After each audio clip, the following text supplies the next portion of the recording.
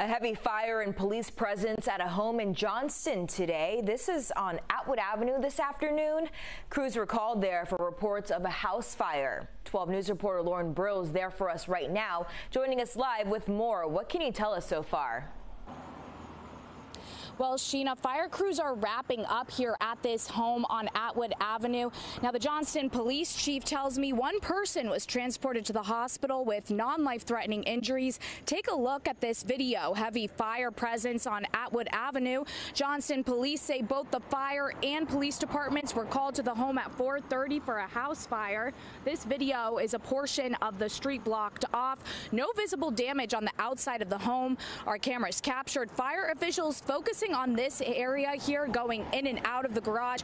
Rhode Island Energy also on scene. Now, fire officials would not talk to us here on scene tonight. We're working to get more information and will continue to keep you updated. Live in Johnston, Lauren Brill, 12 News.